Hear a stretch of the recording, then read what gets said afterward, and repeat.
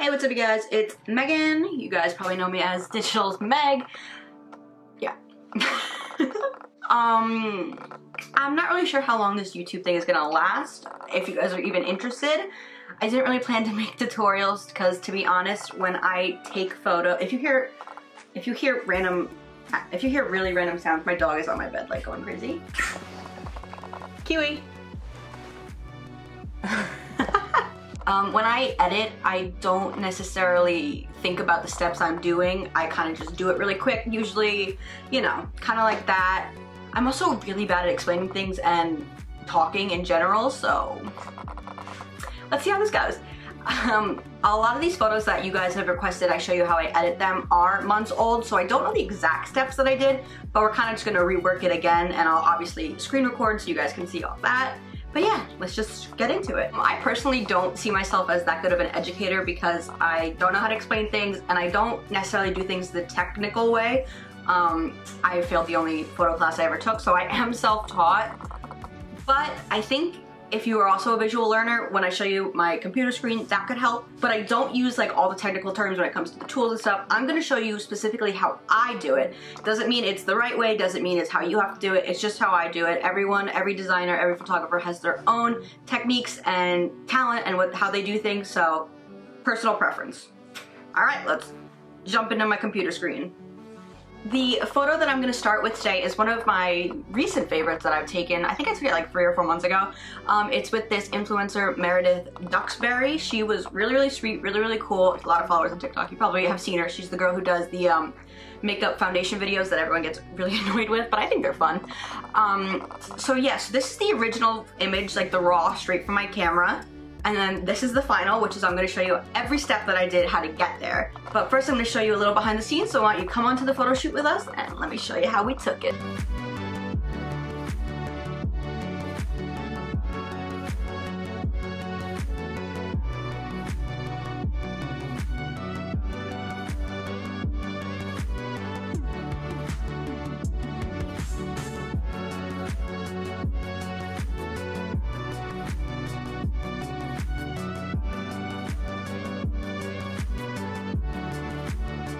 So the first thing I do is I bring the image into Lightroom and I don't even want to hear it. I know I use the quote unquote wrong Lightroom. There's two different versions. This is like the one that not real photographers use such bullshit. Like honestly, I've used both. I like this one. It's easier. I think it's because it's simplified a little bit. I do a lot of concert and tour work and with those you gotta take the photos and finish editing them before the artist is even off stage most times.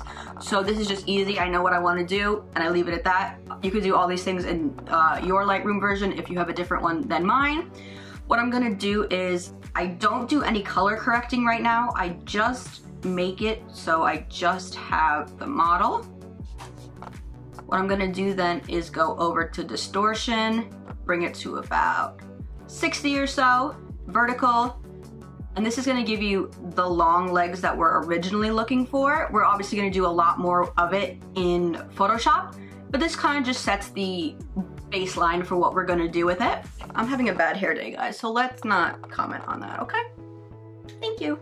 Okay, oh my god, I have so many tabs open in Photoshop, it's not even funny. I was just working on a project that's coming soon, so we're gonna pretend that didn't happen, okay? Okay.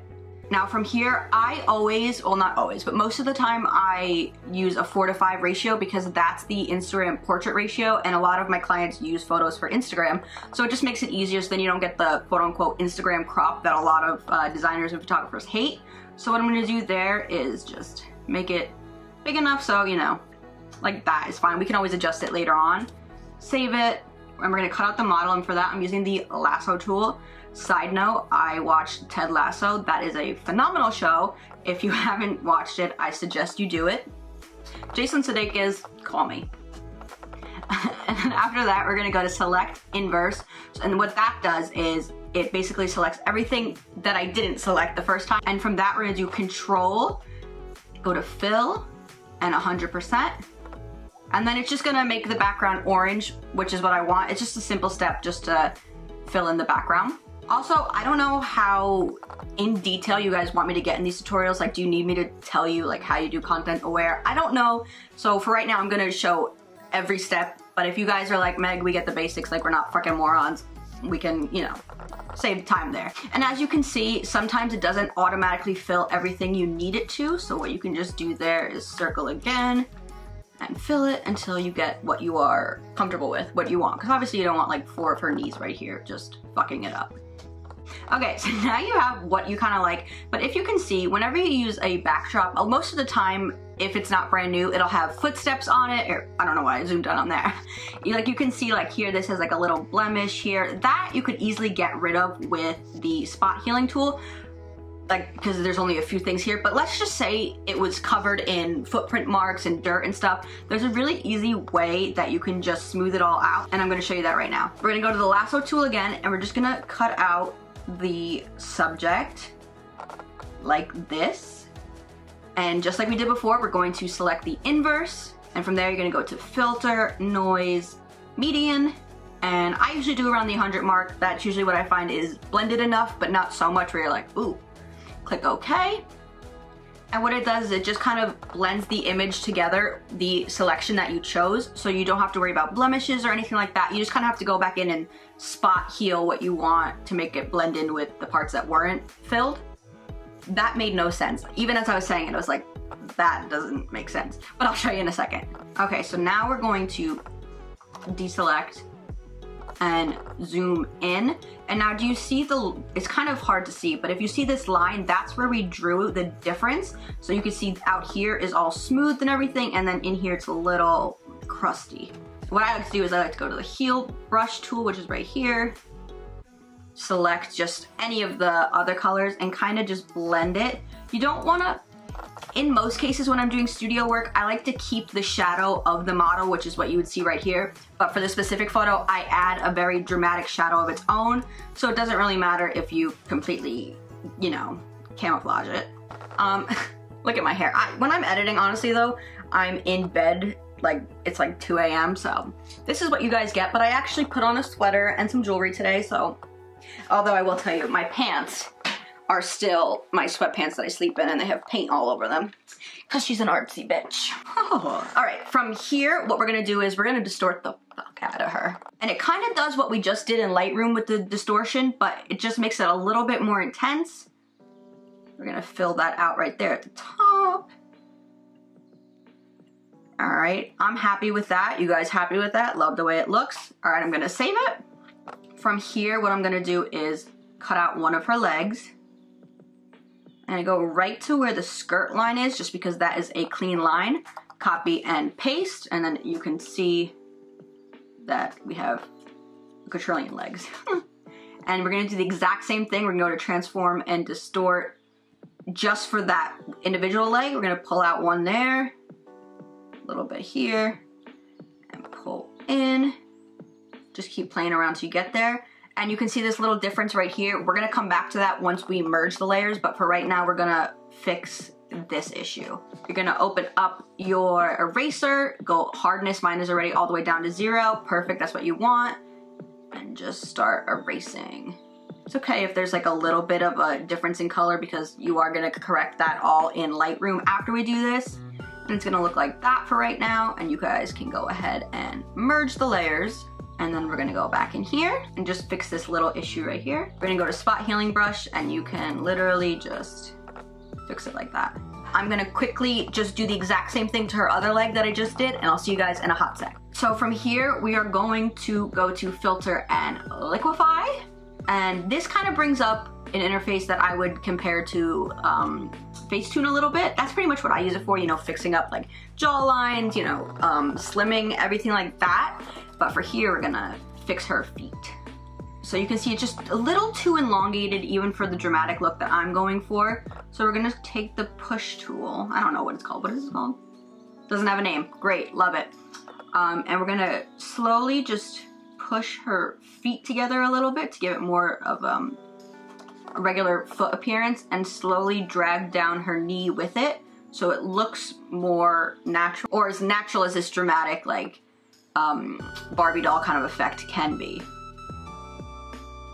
I'm also going to use the enlarge tool because when you distort an image, it kind of slims, it narrows it all down. And I kind of just want to add some more meat to it. So we're just gonna click just a little by little just to make her ankles not so small. And then while we're here, we might as well just do some basic photoshopping that I usually do. Like in this instance, you see how it sticks out right here. I usually would just fix that just a little. It also definitely comes down to client preference. Obviously, we're not here to give anybody body dysmorphia or anything, but if they do request it or like we've discussed it beforehand, I do smooth things out just a little. Or if it's like, you know, brand work where they want it all photoshopped to the nines. We're also gonna bring her head down just a little because it got stretched during the short, like I said. But when you do that, you want it to the circle, the middle of the circle to be her face because if it's down here, it doesn't drag the right part. You want it to be smack down in the middle because then it drags what you want. You can kind of move it just a little bit, just how you want it. I'm actually gonna enlarge it slightly just so it gives that little bit of a Bratz doll look, but just barely. Do you see that? I think that was even too much. We're gonna go back and just do a little there. And then we're gonna zoom out and see how that looks. Okay, so we're definitely getting closer to what we want the final product to be. I love it so far, so we're gonna say, we can actually preview it so you guys see the changes that I made. You don't really notice it as you're doing it, especially with the legs, that moving the knee and just making the leg bigger again really makes it more natural given how unnatural it's supposed to look. And then we're gonna hit okay, and we're gonna move on to the next. From here, we are going to fill in just this little spot that rode up from before. You can do um, content fill, you can do whatever you want. I personally, I personally prefer just for small things like this, I just use the um, spot healing and I'll just cover over and it'll do a pretty good job usually. Like, yeah, perfect. And then obviously if you look at the final image I did, she was more in the middle. Sorry, my dog's whining. Um, if you look at the final image I did, she was more in the middle and kind of small compared to the outline image. So I'm just gonna resize it, hit content aware up here, and let it do its magic.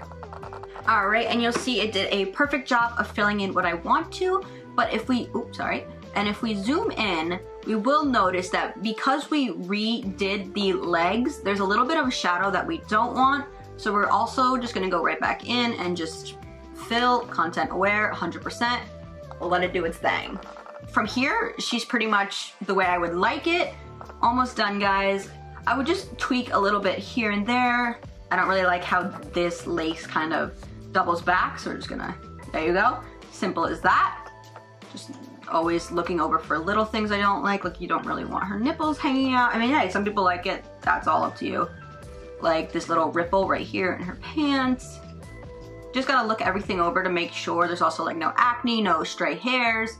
Like her hair is pretty light so you don't necessarily see it, but there are pieces that stick out the closer you get into it.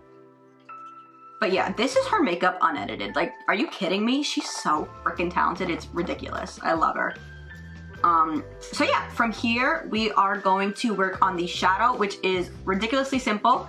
What you're gonna do is select subject. Usually it does a pretty good job of cutting out a subject. Most cases I'd have to go back and refine it just to make sure, you know, there's no things that were left out and stuff. Like, do you see here how it didn't pick up some of the orange? It thought it blended together which is fine in this case because we don't need a clear cut, but if you wanted an exact cutout of someone, you would have to obviously, you know, edit it. And then we're gonna create her two more times and just layer them on top of each other like they were. You're going to select the middle image right here. Color overlay. Again, you can make this look so much more natural if that's what you want in a shadow, but we're going for dramatic, like you fucking know this is not like real, but it's like in the best way. You're gonna go to blur, Gaussian blur. You know, I kind of mess around with the 100 mark. I just really like that. And then here, I'll get rid of that. So you can kind of see what it looks like there. Honestly, that's a little too much, so I might do another one. Gives a little more. Merge. I'm going to transform, distort, grab right here and just pull. All right, and I am happy with that. Obviously, it doesn't line up perfectly with her feet. We're gonna fix that, don't you worry. I'm gonna put the top image back over so you can see that it lines up. We're just gonna erase the parts we don't want. Perfect, love it. Now from here, we're going to go to blending mode and it really depends on the image, what I wanna do. I kind of just go through them all and see what I think looks best. Usually it's between like soft light or hard light, overlay, that kind of stuff. I think for this we're gonna do with soft light and turn the opacity down. Yeah, love that. I honestly, you could leave it like this. I think I'm gonna add, I'm gonna do another layer of the shadow and blend that one out a little bit more so it's kind of diffused. Yeah, I like that look. And then from here, zoom back out. Yep, love it because you can feel like the light is hitting from right here. Happy with it so far. And then we're gonna merge all the layers. And then we have to just make it a little more natural, you know? Like right here, there should be a deeper shadow where this one is intersecting, intersecting. So we're gonna go to the burn tool and just highlight it a little. Just like if you weren't a photographer or an editor, you would never notice that there was a little hint of um, darkness, darkness, darkness right there. But because you do see me doing it, you're like, yeah, that makes all the difference. Make sure to do it like half on the subject and half on the backdrop to make it blend. And yeah, I'm pretty damn happy with that. I'm just going to fix the crop because I don't think she's centered.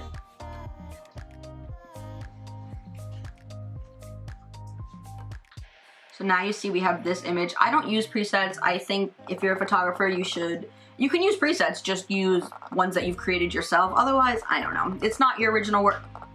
Everyone has different opinions on that. But anyways, what we're gonna do here is just tweak. It's kind of just up to personal preference. I used to love things being um, really warm toned. Now I'm kind of in the cool tone, but for this photo it was kind of neutral. I'm gonna take down the whites a little bit so we can see the color of her skin better.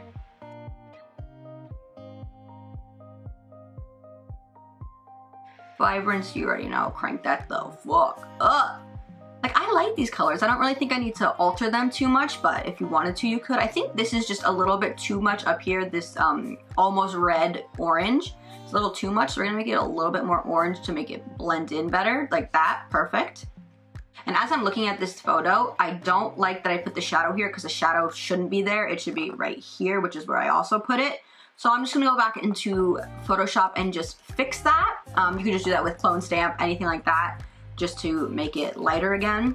Because as I'm looking at it, I'm like, oh, that's not how it would look if there was um, a light coming from here. So yeah, this is what I would do in Lightroom and then I would export it, put it in Dropbox, send it to the client. But I'm just going to fix this real quick and I'll see you guys in a second.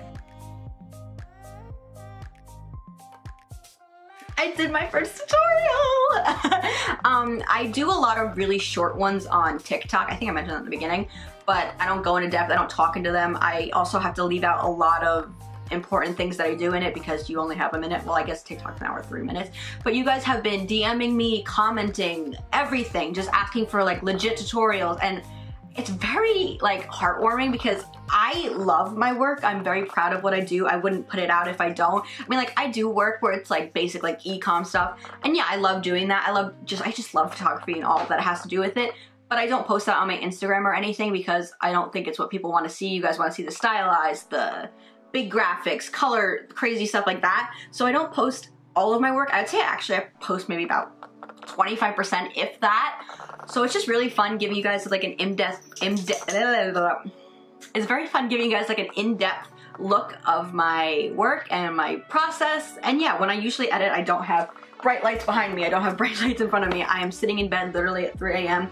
drinking a really old Starbucks, which I got that for the occasion today, and eating unhealthy food. So yeah, I hope you guys like this tutorial. If you have any questions, if I didn't explain it well or just you have comments, please let me know. I will, you can comment them here or on uh, Instagram DMs. I try to answer them all. I just do get overwhelmed with all of them. So give me some time, you know, keep pinging me, let me know you need help and I would love to I hope you guys like this um, I'm gonna try and do this edit with me edit with Meg I'm not really sure what I'm gonna call it yet but I'm gonna do this series, maybe I'll post um, a new tutorial every Sunday. I still have to edit my tour vlog from being on tour with Tinashe and um, Rayami, so if you guys would love to know what it's like being a tour photographer on a concert tour, I would love to do that. I vlogged it all, so I would just love to put that all together and do that. So maybe I'll just post every Sunday. I don't know. Uh, if you guys have any requests for what the photo I should edit and show you how to edit for next week is, please let me know. I would love to you know, just pick the most popular image that people want to know how I did it, and I that could be really fun.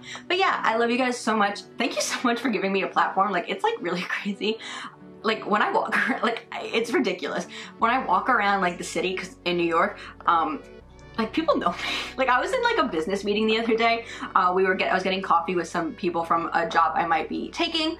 Like literally someone stopped in the middle of the sidewalk and said, are you the photographer from TikTok? And I was like, yeah, I don't know. It's like very weird. I love it so much, but it's like, I me like what? Anyways, yeah. Oh my god, did I look like this the entire video? Jesus. I will make sure I wash my hair before next week's video. But yeah, I love you guys so much. Thank you. I can't wait to see your photos. If you use any of my techniques, tag me.